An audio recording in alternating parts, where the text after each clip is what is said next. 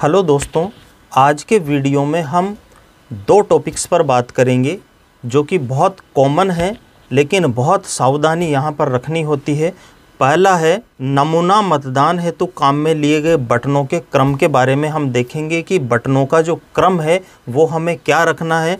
और दूसरा हमारा टॉपिक रहेगा आदर्श मतदान कक्ष का लेआउट कैसे रखना है? यदि आपके वहाँ पर जो कमरा मिलेगा, जो चेंबर मिलेगा पोलिंग स्टेशन पर, उसमें दो दरवाजे होंगे तो बेस्ट रहेंगे, एक दरवाज़ा रहेगा तो क्या करना है? कैसे पोलिंग ऑफिसर्स को वहाँ पर बैठना है? कैसा पूरा आदर्श लेआउट आपको बनाना है? इस पर हम इस वीडियो में बात करेंगे। तो चलिए अब हम स्टार्ट करते हैं कि नमूना मतदान है तो काम में लिए गए बटनों का क्रम कैसे और किस तरह से रखना है। तो दोस्तों, यहाँ पर देखो सबसे पहले कहाँ से स्टार्ट करना है? आपको वीवीपैट से स्टार्ट करना है। ध्यान रहे दोस्तों, आपको जो कनेक्शन करने हैं कनेक्शन हमेशा कंट्रोल यूनिट के पावर बटन को स्विच ऑफ़ की पोजीशन में ही करना है और उसके बाद आपको कंट्रोल यूनिट का पावर स्विच ऑन नहीं करना है। हमारी जो स्टार्टिंग होगी, वो होती है वीवीपैट से। यानी सबसे पहले हमें जो वीवीपैट का काला नोब है, जो गैस के चूल्हे की तरह है, उसको हमें खड़ा करना है। तो यहाँ वही स्थिति बताई हुई है। ये कह रहा है कि वीवीपैट ऑन, यानी नोब को वर्टिकल यानी खड़ा करना है सबसे पहले। उसके बाद में हमें जो सी यू है, उसका पावर स्विच ऑन करना है। ऑन करने के बाद सबसे पहले आपको कंट्रोल यूनिट में क्लियर बटन को प्रेस करना है। क्लियर बटन को प्रेस करने से फ़ायदा ये रहेगा, यदि मशीन में भूलवश पहले से कोई वोट अंकित रह जाते हैं, हालाँकि ऐसी, ऐसा चांस बहुत कम होगा, लेकिन फिर भी मान लो बन जाता है, ऐसा कोई चांस और वोट रह जाते हैं तो वो हमारे क्लियर हो जाएँगे। क्लियर करने के बाद आपको बैलेट वाला बटन प्रेस करना है और बैलेट प्रेस करने के बाद आपको क्लोज का बटन दबाना है। यानी अब हमारी वोटिंग कंप्लीट हो गई है और अब हम वोटिंग को क्लोज कर रहे हैं तो क्लोज बटन हमने दबा दिया। क्लोज के बाद हमें रिज़ल्ट दबाना है। अब हमने जो वोटिंग करी है, उसका रिज़ल्ट हम देखना चाह रहे हैं तो उसके लिए हम रिज़ल्ट बटन दबाएँगे। रिज़ल्ट देखने के बाद वापस क्या करेंगे? क्लियर करेंगे। रिज़ल्ट के बाद क्या करेंगे? क्लियर करेंगे। क्योंकि मशीन को बिल्कुल खाली करेंगे, उसमें कोई मत अंकित रहना नहीं चाहिए। और क्लियर करने के बाद आपको स्विच ऑफ़ करना है, ध्यान रखना है स्विच ऑफ़ में ही आपको सारी सीलिंग करनी है, सारे टैग लगाने हैं।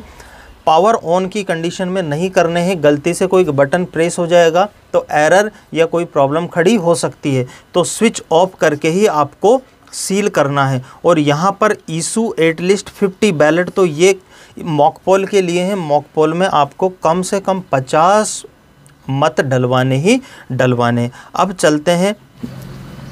आदर्श मतदान कक्ष का लेआउट है। ये आपको चेंबर दिख रहा है। इस चेंबर को देखो कैसे दिखाना है। यहाँ पर दो गेट दिख रहे हैं। एक ये वाला गेट है, एक ये वाला गेट है। इस गेट पर आपको दो लाइनें दिख रही होगी। एक ये वाली है एक और एक ये डार्क वाली है। तो आपको आपकी सुविधा अनुसार पहले गेट पर दो लाइनें बनवानी है, एक होगी जेंट्स की और एक होगी लेडीज़ की। और यहाँ पर देखो, ये पुलिसकर्मी दिख रहा है तो इस तरह से यहाँ पर जो भी आपका सुरक्षा गार्ड रहेगा, जो भी पुलिस टीम का मेंबर वहाँ रहेगा, वो यहाँ पर गेट पर खड़ा रहेगा। उसके बाद ये वाला व्यक्ति हमारा पीओ वन है, पोलिंग ऑफिसर वन। यहाँ से मतदाता सबसे पहले पोलिंग ऑफिसर वन के पास आएँगे। पोलिंग ऑफिसर फ़र्स्ट जो है वो मतदाता की पहचान सुस्थापित करेगा। इसके पीछे ये वाले हैं जो पोलिंग एजेंट्स बैठे हुए हैं। पोलिंग एजेंट्स को आप इस तरह से बिठाए कि जो एंट्री आप बोलोगे वो आसानी से सुन सके।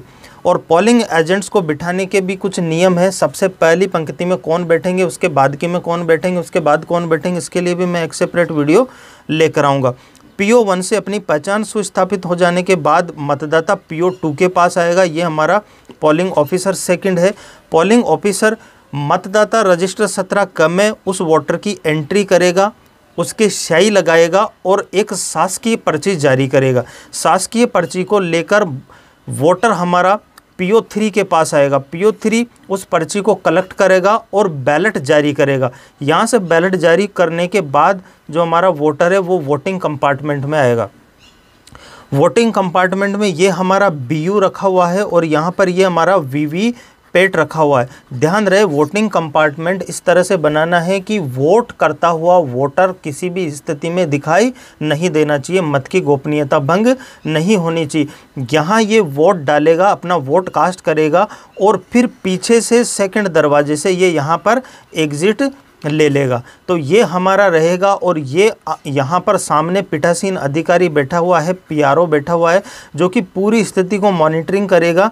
ये, इनको भी ऐसे बैठना है कि मत की गोपनीयता भंग नहीं होनी चाहिए, यानी मत रिकॉर्ड करता हुआ मतदाता नहीं दिखना चाहिए, जबकि सारी स्थिति इनको शो होती रहनी चाहिए। तो ये था आदर्श मतदान कक्ष का लेआउट, जहाँ पर आपको अपनी जो सिचुएशन जो पॉलिंग स्टेशन आपको मिलेगा, वहाँ पर कितना बड़ा हॉल है, दो दरवाजे हैं या नहीं है, दो नहीं है तो एक हैं तो फिर वहाँ पर बाँस की बल्ली लगाकर, रस्सी बांधकर आपको उसको दो पार्ट्स में डिवाइड कर लेना है। सुविधा अनुसार आपको अपना जो मतदान कक्ष है, वो तैयार कर लेना चाहिए। ये एक आदर्श लेआउट है कि इस तरह से हमें हमारी व्यवस्थाएँ बनानी है। तो उम्मीद करता हूँ दोस्तों वीडियो पसंद आया होगा। वीडियो पसंद आया तो वीडियो को लाइक करें, शेयर करें और चैनल को सब्सक्राइब करना बिल्कुल भी मत भूलना। मिलते हैं नेक्स्ट वीडियो में। तब तक अपना बहुत सारा ध्यान रखिए। जय हिंद, जय भारत।